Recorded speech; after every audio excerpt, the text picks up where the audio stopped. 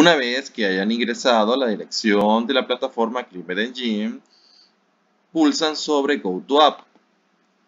En esta plataforma deberán afiliarse a través de un correo electrónico y una contraseña, pero pueden utilizar su cuenta de Google o Gmail.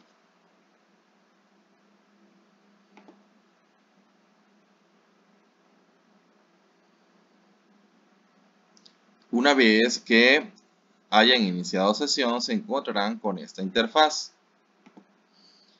Para descargar los datos climáticos, diríjanse a la pestaña Make Graph. Acá encontrarán tres secciones principales. Hacia Time Series Calculation, deberán dejar por defecto la opción Native Time Series. En región, pulsen sobre la flecha e ingresen las coordenadas de su estación.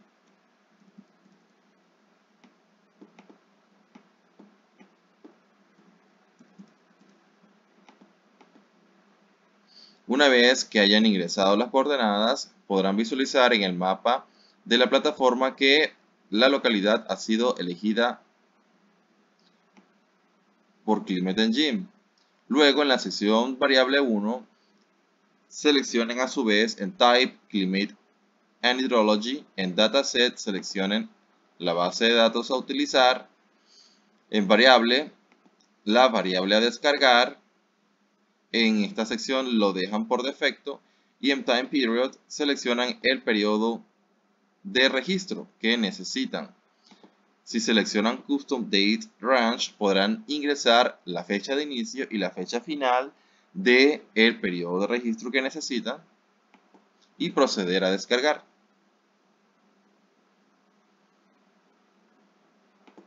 Luego, por último, presionen Get Time Series esperan que la plataforma procese el requerimiento.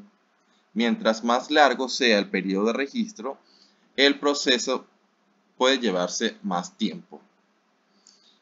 Una vez que el requerimiento haya sido procesado, en la pestaña Figura se proyectará una gráfica de curvas de los datos. Diríjanse hacia la esquina superior derecha. En Download seleccionen Download CSV.